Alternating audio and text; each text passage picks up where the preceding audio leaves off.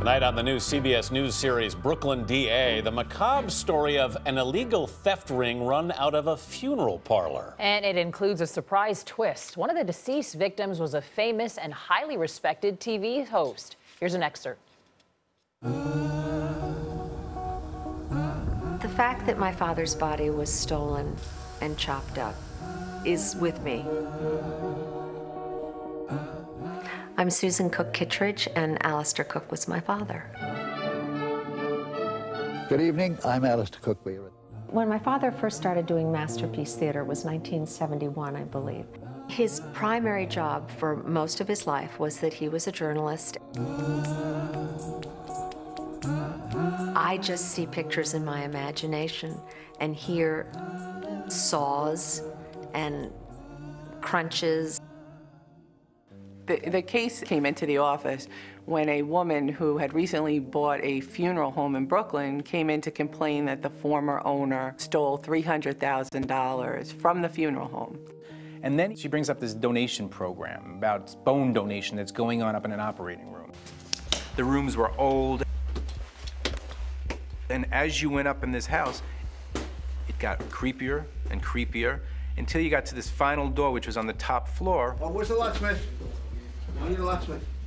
We opened up that door. Surgical light. And that was an operating room. It turned out was that there is a doctor who comes in, takes a deceased person who's being prepared for funerals, and he goes in and removes all the bones from the people's bodies. There's a big business for recovering and supplying bones and tissues for uh, eventual transplantation.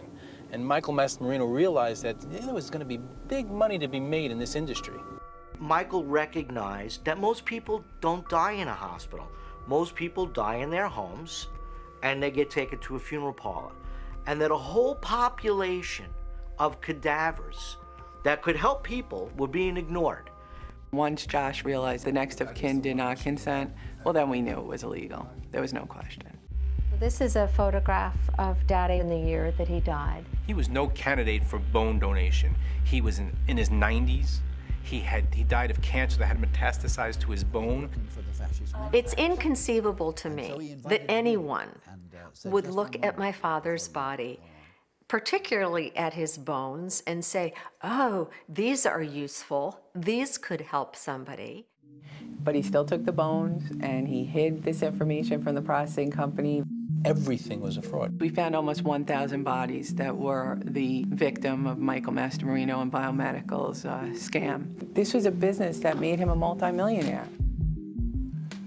And for the full bizarre story, watch Brooklyn DA tonight at 9, 8 Central, right here on CBS.